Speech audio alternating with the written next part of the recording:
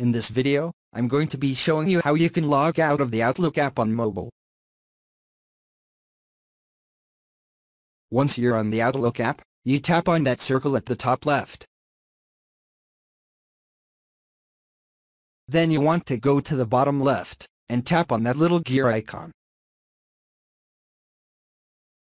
Under Accounts, you'll have all the accounts that you've added. I have one account. To log out of this account, I need to do is tap on it. Then at the bottom it says Remove Account Now. This isn't going to delete the email address, it's just going to delete it from the Outlook app.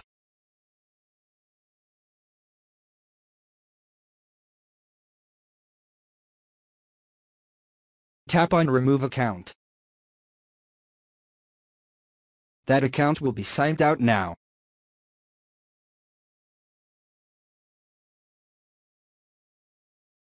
Now to prove that you can sign back into that account, I'll just log in again.